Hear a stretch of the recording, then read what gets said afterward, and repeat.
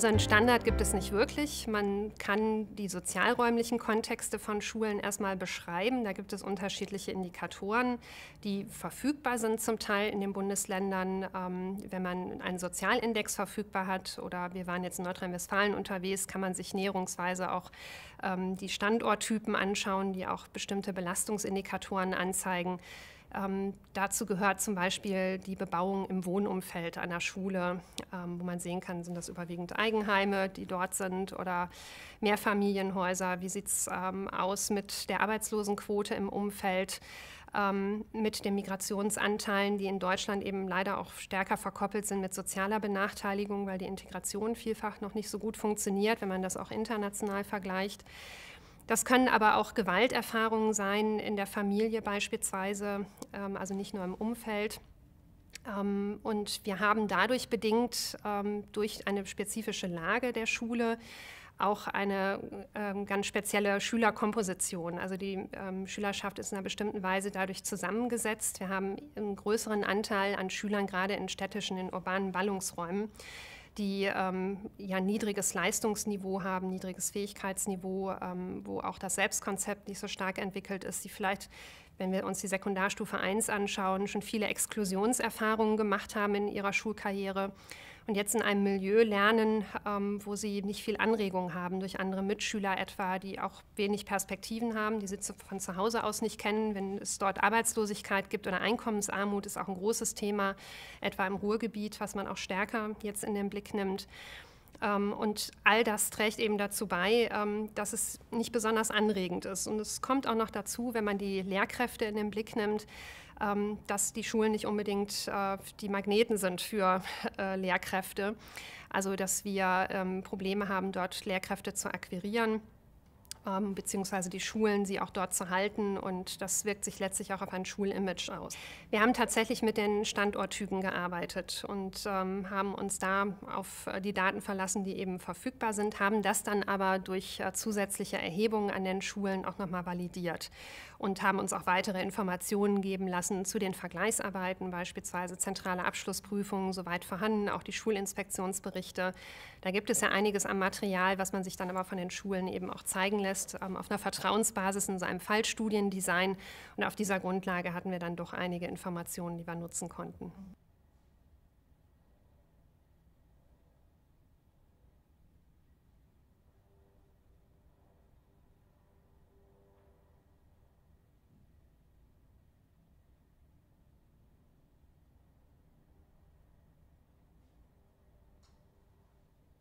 Also in der Tat, ähm, strukturell gibt es Unterschiede zwischen den Ländern. Im angloamerikanischen Raum haben wir teilweise marktähnliche Bedingungen, wenn wir an Schulrankings denken und dass es verkoppelt ist mit der Schulwahlmöglichkeit durch Eltern, dass also Daten publiziert werden, dass äh, Schulleiter bestellt werden können, aber auch wieder abberufen werden können. Das gilt auch für die Lehrereinstellung und auch Entlassung wieder. Also da gibt es vielfältige Faktoren, wo man äh, anders agiert in bestimmten Situationen bis hin zu Schulschließungen, was bei uns eben kein Thema ist sodass man stärker auf die inneren Faktoren der Schulentwicklung schaut. Und da ist es durchaus hilfreich, die wirklich Jahrzehnte alte Literatur ja auch schon äh, im angloamerikanischen Raum, in den Niederlanden auch in den Blick zu nehmen und zu schauen, was kennzeichnet denn Schulen, die auch unter widrigen Bedingungen, unter herausfordernden Bedingungen erfolgreich arbeiten. Und ähm, wenn man nichts anderes hat, dann schaut man erstmal, was das Feld strukturiert ähm, wo kann man denn eigentlich schauen? Was ist ähm, für unsere Forschung interessant? Was wären Felder, die man in den Blick nimmt? Und da gibt es ja schon einiges, äh, was dort auch deutlich wird. Also zum Beispiel dass Schulen äh, datenreich sind, also dass ähm, sie genau wissen, wo liegen die Herausforderungen, auch systematisch schauen, wo stehen sie eigentlich und dann vor allen Dingen kompensatorische Maßnahmen einleiten. Ähm, die Kompensation betrifft gerade an Schulen in Brennpunktbereichen, in schwierigen, in herausfordernden Lagen ähm, ganz unterschiedliche Aspekte, also ähm, materielle Ressourcen, die fehlen, aber auch soziale und emotionale. Das bedeutet, dass Schulen, dass Lehrkräfte ähm, beispielsweise Schreibunterlagen bereithalten, Lehrmaterial, sodass Unterricht auch stattfinden kann, aber auch die ähm, emotionale Beziehung zu den Lehrkräften eine andere ist, also dass man wirklich auch eine Bindung aufbaut, dass man sehr viel investiert in diese Beziehungsebene. Ähm, und gerade im angloamerikanischen Raum geht es auch darum, dass Störungen vermieden werden. Also dass man ähm, klare Strukturen hat, ähm, hohe Disziplinorientierung, klare Regeln, die aber auch dazu führen, dass man Unterricht äh, wirklich durchführen kann. Also dass die Lernzeit, die da ist, auch effektiv dann genutzt wird. Oder indem man auch zusätzliche Lernzeit zur Verfügung stellt. Das sind Punkte, wo auch deutlich wird, was international schon lange betont wird, dass äh, die Schulleitung von großer Bedeutung ist, weil die Schulleiterinnen und Schulleiter einfach auf alle Qualitätsdimensionen auch Einfluss nehmen können in der Schule und ähm, daran mitwirken können, dass es so etwas wie eine chancenorientierte Grundhaltung gibt, dass man Schülerinnen und Schülern auch viel zutraut und sie auch nicht entsprechend unterfordert, sondern auch Denkaktivitäten, eigene Konstruktionen fördert im Unterricht und äh, das eben auch stark im Blick hält die Lehrkräfte darin unterstützt, also auch dort ähm, Fortbildung gezielt plant, also sehr systematisch anlegt. Also auf verschiedenen Ebenen wird gearbeitet über Schulleitung ähm, und dass eben auch der Unterricht nicht aus dem Blick gerät. Das ähm, haben wir auch immer wieder in eigener Forschung festgestellt dass ähm, man sehr viel macht, außerschulisch, außerunterrichtlich. Aber die Frage ist, wie ist das letztlich wieder mit dem fachlichen Lernen verkoppelt? Und das sind viele Punkte, die eben schon lange aufgezeigt sind und wo wir auch Felder hatten, wo wir sagen konnten, das können wir nutzen und auch schauen, wie sieht es eigentlich bei uns aus.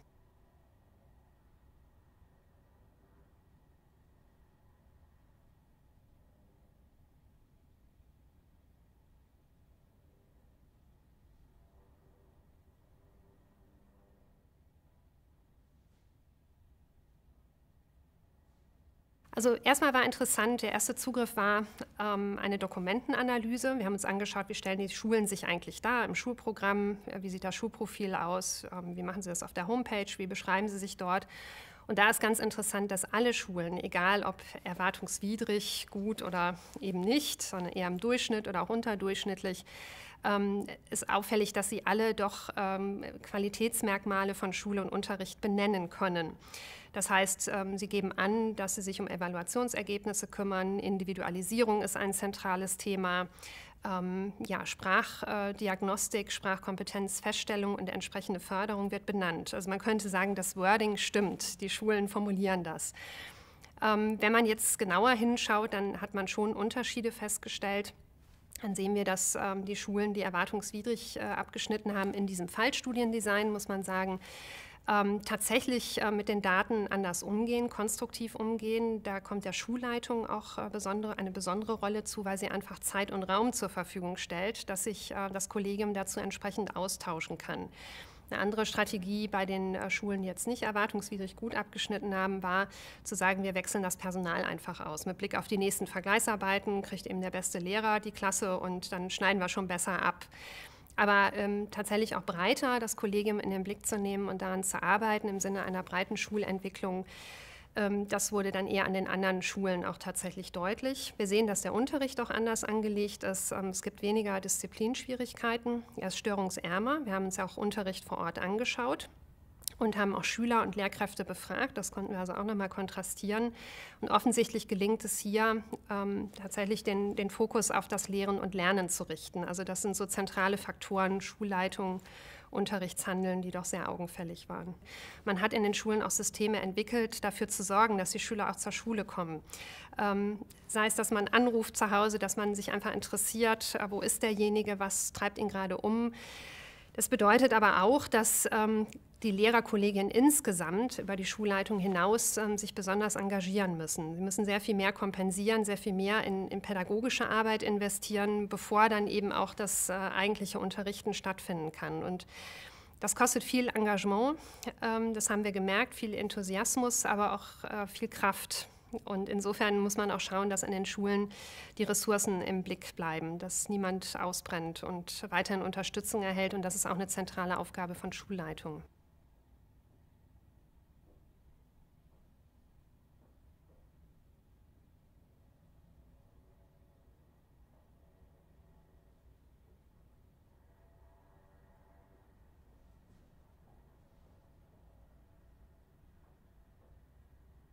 Wir haben tatsächlich das auch beobachtet bei den Schulen, äh, die nicht zu der leistungsstärkeren Gruppe gehörten, dass man sagte, also wir können unsere Ergebnisse auch nachvollziehen, weil wir einfach eine ganz, ganz schwierige Schülerschaft haben. Und äh, man stellt dann in Frage, ob man wirklich vergleichbar ist zu anderen Schulen, die einen ähnlichen Standorttyp haben. Und sicherlich haben wir da auch eine große Varianz, das ist richtig. Wir haben jetzt in einem weiteren Projekt, was wir in der Nachfolge auch bearbeiten, ähm, wo mittlerweile 40 Schulen beteiligt sind, das ist etwas größer hier im Ruhrgebiet angelegt, auch nochmal systematische Datenbestandsaufnahmen gemacht und haben den Schulen rückgemeldet, wo ihre Stärken liegen und dann natürlich auch, woran man denn arbeiten könnte im Sinne von Potenzialentwicklung. Und das scheint ein guter Punkt zu sein, dass man sich überlegt, wie kann man Schulen noch mal stärken, ihnen deutlich machen, da habt ihr Ressourcen, da habt ihr Ansatzpunkte, wo ihr selbst auch Dinge verändern könnt. Ähm, und wo gibt es Bereiche, wo man möglicherweise auch alleine nicht viel tun kann, ähm, wo man sich einfach auch externe Unterstützung organisiert. Und das ist, glaube ich, auch so eine Perspektive, dass man stärker auf Unterstützung setzt, die ja, bedarfsorientierter wird. Also ich nehme insgesamt auch eine Diskussion im Land wahr, dass man schaut, ähm, was kann man über Datenerhebung hinaus tun? Wie meldet man Daten zurück? Und sie führen ja auch nicht durch die Rückmeldung alleine schon direkt zu einem ähm, zu einer anderen Handlung, sondern wie kann man Schulen darin unterstützen, je nach Ausgangsniveau, was die Schulentwicklung angeht.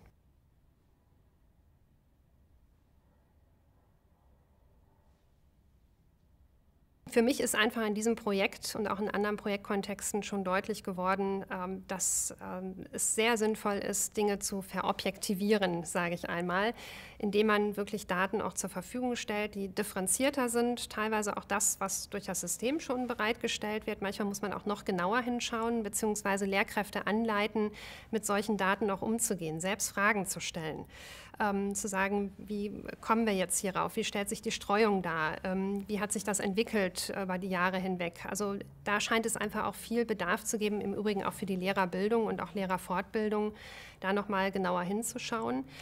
Das wäre so ein Punkt, ähm, weil dadurch ganz viele Gesprächsanlässe schon zustande kommen. Da sind viele Dimensionen von Schulqualität angesprochen und äh, man reflektiert einfach systematischer und baut solche Informationen ja auch in eigenes Erfahrungswissen mit ein, was natürlich auch wichtig ist.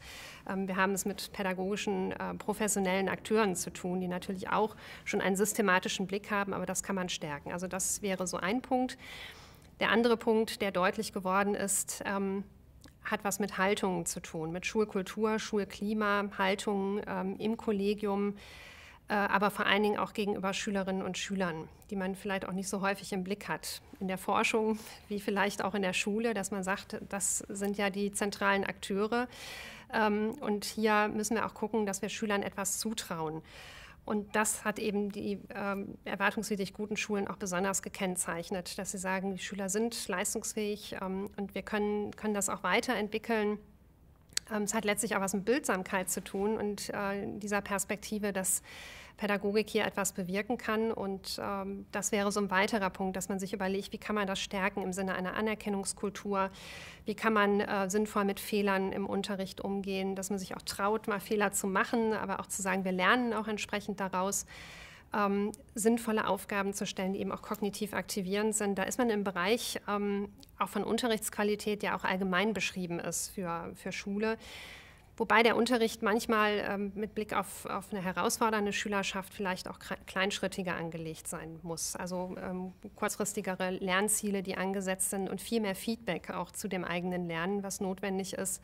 Also da kann man auch schon einige Hinweise geben. Also das datengestützte Haltungen Unterricht in den Blick nehmen ähm, und sich genau überlegen, wie legt man den Lernprozess an und der Fokus auch auf das fachliche Lehren und Lernen und gar nicht so viel drumherum bauen. Natürlich sind auch Kooperationen mit externen Partnern wichtig, weil man dadurch das Sozialkapital nochmal erweitern kann.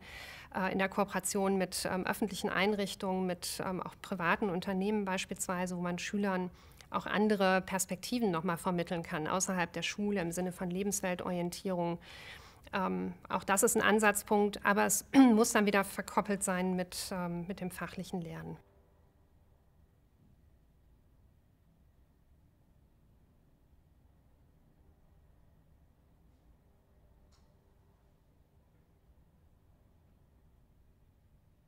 Ja, auch in dem Sinne, dass sie systematischer Fortbildung planen, weil sie auch wieder systematisch im Blick haben, wo gibt es denn Bereiche, wo wir was tun müssen, weil es vielleicht auch eine Schülerschaft äh, gibt, ähm, die, die einen ähm, hohen Anteil an Seiteneinsteigern hat, ein großes Thema gerade ähm, in, in Ballungszentren ähm, wo das Thema Inklusion auch eine besondere Rolle spielt. Wir haben die meisten Inklusionsschüler in Schulen mit Hauptschulbildungsgängen beispielsweise, also die dadurch auch nochmal dann tatsächlich auch belastet sind und ähm, wo Schulleitungen vor diesem Hintergrund auch sehr systematisch planen, was müssen wir tun und nicht nur mit Blick auf einzelne Lehrkräfte, sondern auch für das Kollegium, also im Sinne von schulinterner ähm, Lehrerfortbildung als Schilf angelegt. Ähm, Ansonsten gibt es schon insgesamt auch eher eine Zurückhaltung in den Unterricht zu gehen, wobei wir auch Schulen erlebt haben, wo die Türen offen stehen, ohne dass man jetzt als Schulleiter da unbedingt reingehen muss. Aber es ist ein Signal, ähm, dass Unterricht auch deprivatisiert wird und grundsätzlich eine Offenheit da ist, auch für ein Team von der Uni, was mal vorbeikommt.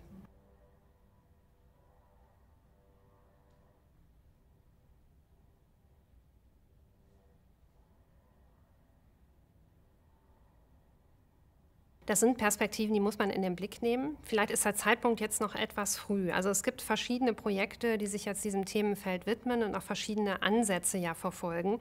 Also es gibt Projekte, die ähm, stärker auf die finanziellen Ressourcen setzen und sagen, wir statten die Schulen mit extrem viel Geld aus und wir gucken mal, ob dadurch Schulentwicklung in Gang kommt. Wobei sich schon andeutet, dass die Schulen auch nicht in der Lage sind, das Geld so zu verausgaben, müssen tatsächlich auch inhaltliche Unterstützung erhalten. Das wäre so ein Punkt. Ähm, aber wir merken auch, dass die Schulen selbst in solchen Projekten überlegen, wie können wir eigentlich politisch wirksam werden. Dann aber auch gerade mit Blick auf sowas wie eine differenzierte Mittelallokation. Also wie kann man Ressourcen gezielt einsetzen dort, wo sie auch besonders benötigt werden für stärkeres Teamteaching beispielsweise, ähm, für eine bessere Schüler-Lehrer-Relation. Also solche Aspekte kann man schon auch in den Blick nehmen. Und natürlich müsste man auch die Kommunen noch stärker äh, mit einbeziehen, überlegen, wenn man Schulentwicklungsplanung vor Ort macht, ähm, wie sind da die Einzugsbezirke, ähm, wie kann man für eine stärkere Durchmischung sorgen und ähm, ja, sozialen Segregationen auch entgegenwirken. Das ist aber letztlich auch ein Themenfeld, was Bildungspolitik nicht alleine bearbeiten kann. Also da gehört auch Stadtentwicklung mit dazu, äh, ganz klar. Ähm, und da sind wir auf einer Ebene, wo die Kommunen eine andere Rolle erhalten, also wo es nicht mehr äh, allein die inneren Schulangelegenheiten sind des Landes, sondern wo die Kommunen auch stärker in solche inhaltlichen Entwicklungsplanungen inhaltlich und strukturell mit eingebunden sind. Also eine wichtige Perspektive müssen wir im Blick behalten, aber so viel kann man noch nicht valide wirklich sagen.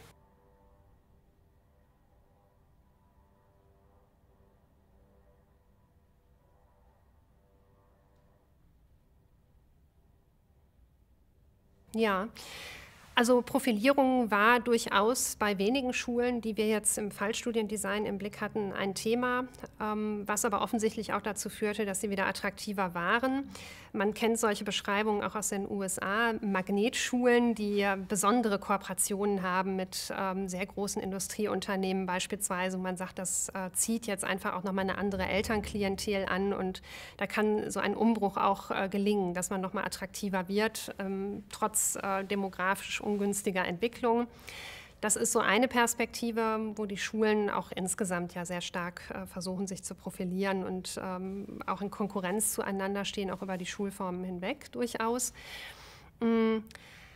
Ansonsten äh, haben wir sehr stark festgestellt, dass äh, Sprachförderung ein zentrales Thema war für alle Schulen, die erwartungswidrig gut waren. Also wirklich als Querschnittsthema und ähm, schon ab Klasse 5, das Projekt war ja auf die Sekundarstufe hin angelegt, ab Klasse 5 teilweise längsschnittlich auch angelegt ähm, und immer verkoppelt mit spezifischen Maßnahmen. Also das war auch ein zentraler Punkt, den ich jetzt so bestätigen kann.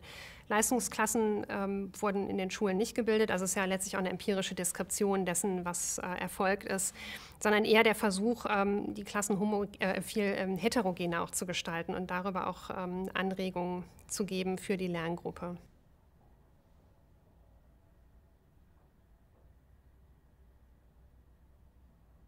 Ja, wie gesagt, das ist noch relativ früh, da entsprechende Antworten geben zu können. Aber ich denke, es geht schon in die Richtung der Frage, wie man äh, Ressourcen gezielt einsetzt. Also es gibt schon Ansatzpunkte dafür in Nordrhein-Westfalen, in Hamburg beispielsweise, aber wo man sich noch bessere Hinweise erhofft. Und die Frage, ob das ähm, tatsächlich auch allein an den finanziellen Mitteln liegt oder ob man möglicherweise auch ganz gezielte Fortbildungen anbietet.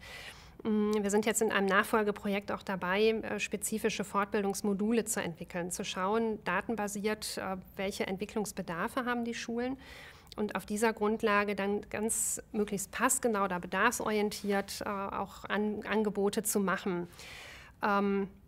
Das betrifft zum Beispiel ähm, ja, Gesunderhaltung von Lehrkräften oder ressourcenorientierte Perspektive auf Schülerinnen und Schüler. Das Thema Inklusion wird natürlich auch sehr stark nachgefragt.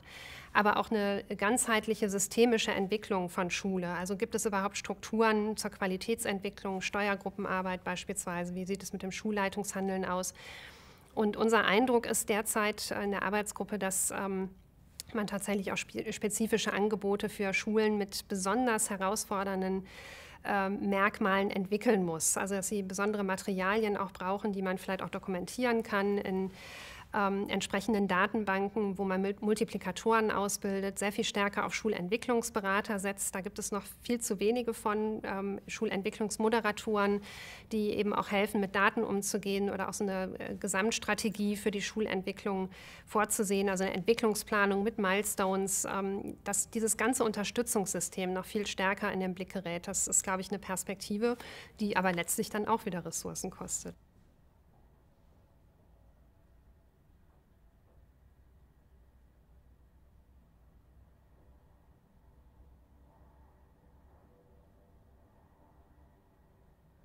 Finde find das sehr gut, dass wir ähm, einige Projekte jetzt in dem Bereich haben, weil einfach auch eine Aufmerksamkeit für die Schulen da ist. Das tut den Schulen im Übrigen auch gut. Die beteiligen sich auch gerne an solchen Programmen, ähm, sehen das gar nicht als Stigma, dass man sagt, es sind jetzt Schulen in dieser herausfordernden Lage. Sie sagen, ja, das ist so, da können wir auch gar nicht äh, viel für, dass wir eben diesen Standort haben. Und äh, wir können da eine Aufmerksamkeit erzeugen und tatsächlich erproben, was ist denn hilfreich und können daran auch teilhaben. Und äh, es gibt eben verschiedene Maßnahmenbündel, verschiedene Projektansätze. Und da ist auch aus meiner Sicht ganz wichtig, dass man das wissenschaftlich begleitet und evaluiert. Ist ja letztlich eine Form ähm, der Interventionsforschung, die auch stärker gefordert wird. Also nicht mehr nur deskriptives Wissen zu erzeugen, was kennzeichnet jetzt Schulen, die unter schwierigen Bedingungen arbeiten, sondern ähm, wie kommt man eigentlich zu einem stärkeren Erklärungs- und letztlich auch Handlungswissen. Das ist natürlich auch ein besonderes politisches Interesse, was man nachvollziehen kann. Und insofern ist das ganz spannend, diese Ergebnisse abzuwarten und letztlich auch zu bündeln, da im systematischen Austausch zu sein. Und das sollte man im Blick halten. Und natürlich auch Bildungspolitik und Bildungsadministration einladen, dort in den Diskurs zu kommen und zu schauen, wo kann man denn was im System tatsächlich verändern.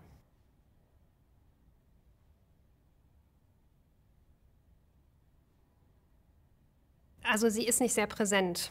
Ähm, die Studien, die ich so kenne, äh, zeigen auch, dass äh, in der Regel sich äh, Schulaussicht zurückhält ähm, in der Auseinandersetzung mit Daten und was Unterstützung angeht, sondern man sagt, das sind Daten, die gehören den Schulen, den Vergleichs, wenn man sich die Vergleichsarbeiten anschaut, und die sollen auch damit umgehen. Aber wir wissen da noch relativ wenig über ja, die neue Rolle, die eigentlich intendiert ist, der Schulaufsicht.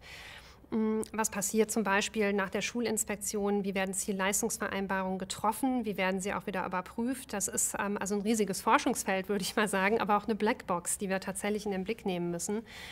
Wo wir aber auch nochmal gucken müssen, was gibt es denn an Professionalisierungsbedarfen für diese Akteure, weil sie natürlich die Schulen auch unterstützen können und äh, die Schulen schon grundsätzlich sagen, das sind auch hilfreiche Partner für uns, aber ähm, in unseren Untersuchungen waren sie in der Tat nicht so wirklich präsent.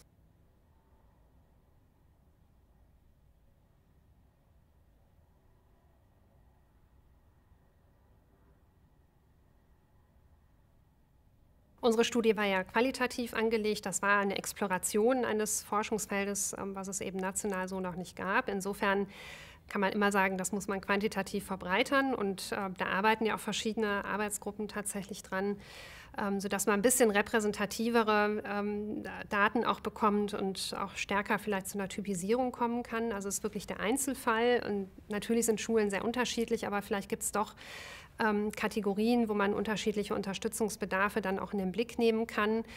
Ähm, das wäre so eine Perspektive, dann eben auch nicht nur mehr zu beschreiben, sondern stärker in die Intervention zu kommen und da tatsächlich auch Wirkungen nachvollziehen zu können. Das wäre für mich auch nochmal ein wichtiger Punkt.